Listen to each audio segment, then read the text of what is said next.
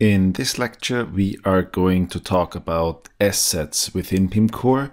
And uh, assets are everything that you are uploading, be it images, videos, zip files, Word files, Excel, and so on. All the files that you're uploading are going into the assets section of Pimcore. And the asset section is the second option here in the accordion menu and it's very convenient because you have not only the option to upload images, you can also sort them and organize them in folders. In this lecture, I will show you how we are uploading an image and what you can do with this image and why Pimcore is a popular asset management solution. Um, in the next videos, we are going to add more assets and uh, show you how you can transform images very conveniently with the thumbnail engine that is implemented in Pimcore. Now I'm going to add an asset and upload a file and I'm using this random picture I just found on my computer. It's probably coming from Unsplash and it went through and the picture is here. Now let me remark some things here. First of all, if you are using a standard PHP installation, then you probably have to change two settings in your PHP ini file to upload images larger than two megabytes because the standard PHP installation on any Linux or Unix system has a limitation on the post size. And I'm going to show you this quickly here. Let's say I'm in my Vagrant box now and I'm gonna open the PHP ini. It's in sudo then I'm gonna open it with Vim. Maybe Vim is not your favorite editor, but I'm gonna show it to you in Vim now in etc PHP 5, Apache 2, PHP ini. And there I'm going to search for max. It's a forward slash and then the uh, keyword you want to search about, return, and then you hit the N like North Pole key until you reach uh, the word that you are looking for. And we have two things. The one is the post max size. I already set it to 256 megabytes. And we have an upload max file size, which I also set to 256 megabytes.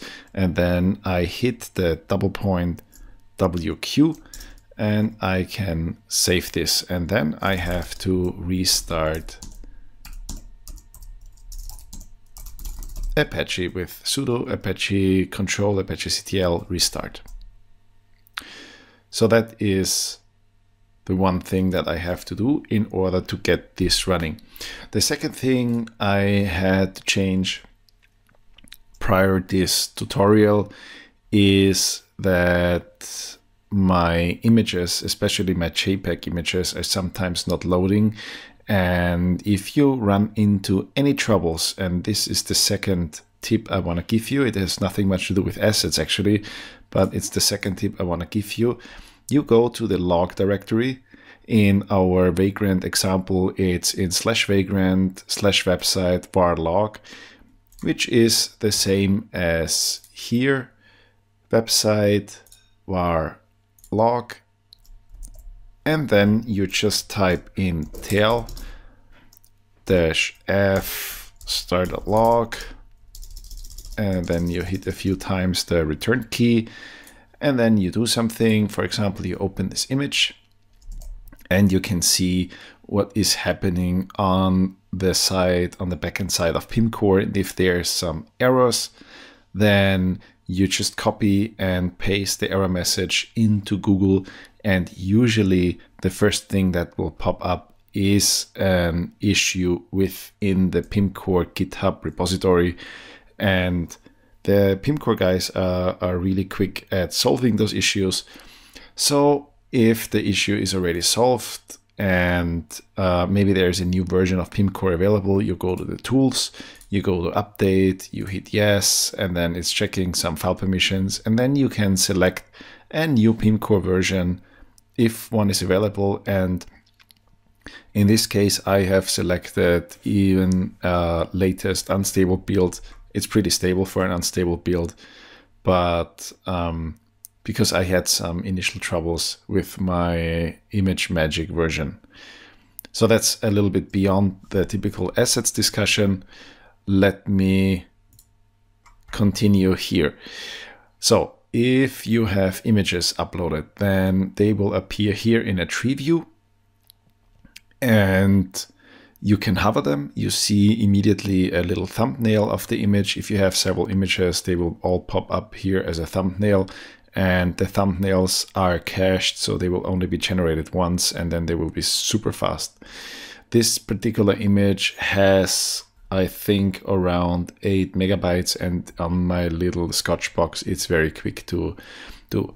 Then uh, Pimcore has integrated an image editor for the images. I usually don't use it but you can use it. It's integrated with Avery, Aviary it's an it's an Adobe product, and um, you can do different things. For example, you can enhance the image, or you can add any stickers if you want to, and then you hit save.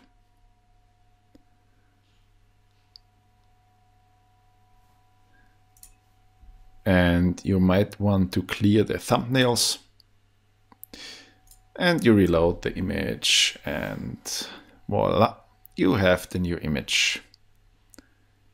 It will take a little bit. Probably you have to reload the admin panel until this thumbnail here is going to be reloaded. Um, you have also other options. For example you can edit the metadata.